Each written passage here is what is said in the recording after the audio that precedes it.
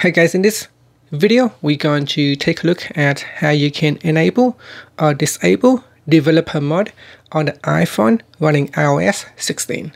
First, let's go back to the home screen by swiping up at the bottom of the screen. On the home screen, swipe across and tap on settings. In settings, go down and tap on privacy and security. Then we go down to the bottom and tap on developer mode in the security section. Then tap on developer mode.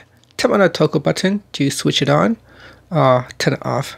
Now say that when developer, developer mode is turned on, your device security will be reduced. Restart your device to turn on developer mode. So tap on the restart button to proceed. Okay, so uh, shortly uh, your iPhone will restart in developer mode. And that's it.